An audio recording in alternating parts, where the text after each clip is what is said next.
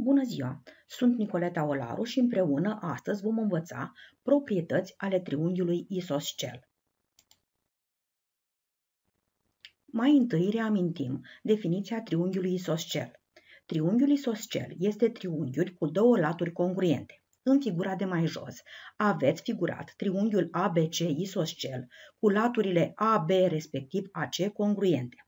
În acest caz, latura BC se numește baza triunghiului isoscel. Unghiul A se numește unghi opus bazei, iar unghiurile B și C se numesc unghiuri alăturate bazei. Să ne reamintim cum construim un triunghi isoscel. Mai întâi vom desena baza triunghiului isoscel și anume segmentul AB.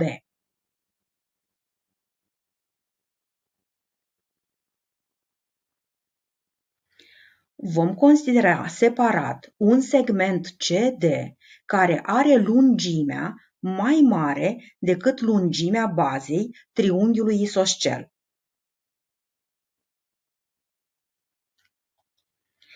Fixăm acul compasului în B și cu o deschidere de compas cât lungimea segmentului CD, trasăm un arc de cerc.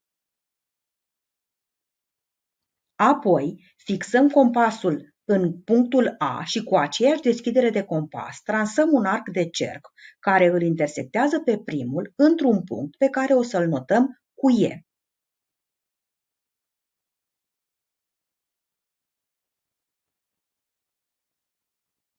Dacă unim A cu E și B cu E, atunci obținem triunghiul isoscel A-B-E. În continuare vom da câteva teoreme referitoare la triunghiul isoscel.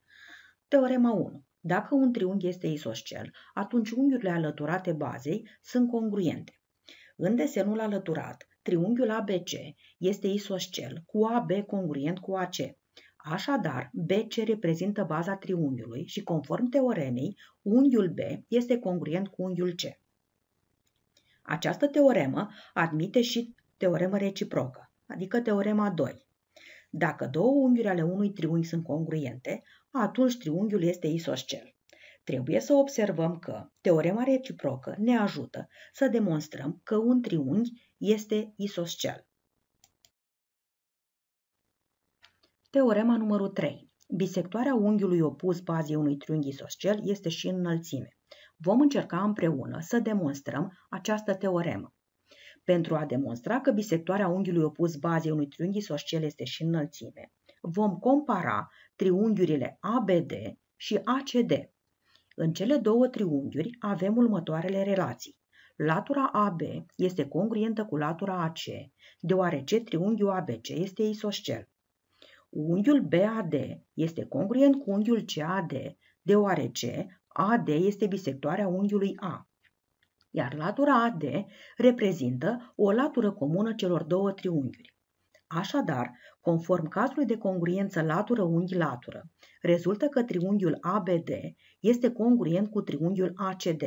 Drept urmare, și unghiurile ADB, respectiv ADC, sunt congruente și amândouă sunt egale cu 180 de grade supra 2, adică 90 de grade, ceea ce înseamnă că AD este perpendiculară pe BC sau altfel spus, AD este înălțime în triunghiul ABC.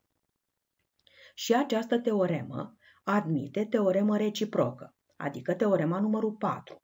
Dacă bisectoarea unui unghi al unui triunghi este și înălțime, atunci triunghiul este isoscel. Observați că, din nou, teorema reciprocă ne permite sau ne îndrumă cum putem demonstra că un triunghi este isoscel. Teorema numărul 5. Bisectoarea unghiului opus bazei unui triunghi isoscel este înălțime, mediană și mediatoare. Pentru a demonstra această teoremă, ne vom folosi de un rezultat de la demonstrația teoremei numărul 3. Așadar, la teorema numărul 3 am demonstrat că triunghiul ABD este congruent cu triunghiul ACD. Asta înseamnă că latura BD este congruentă cu latura DC. Altfel spus, Punctul D reprezintă mijlocul laturii BC. Cu alte cuvinte, AD este și mediană. Am demonstrat însă că AD este și înălțime. Asta înseamnă că AD este și mediatoare. Teorema 6 reprezintă o teoremă reciprocă a teoremei 5. Adică, dacă mediana corespunzătoare bazei este și bisectoarea unghiului opus bazei, atunci triunghiul este isoscel. Teorema numărul 7. Dacă unul din vârfurile unui triunghi aparține mediatoarei laturii opuse, atunci triunghiul este isoscel, iar mediatoarea este mediană, înălțime și bisectoare. Pentru această teoremă, vă invit să încercați să faceți voi demonstrația. În final, teorema numărul 8, într-un triunghi isoscel, mediana bazei este axă de simetrie a triunghiului. Vă propun în continuare să rezolvăm împreună următoarea problemă. Se dă triunghiul ABC. Prin A se duce AE paralel cu BD, unde BD este bisectoarea unghiului ABC și E aparține dreptei BC. Trebuie să demonstrăm că triunghiul ABE este un triunghi isoscel.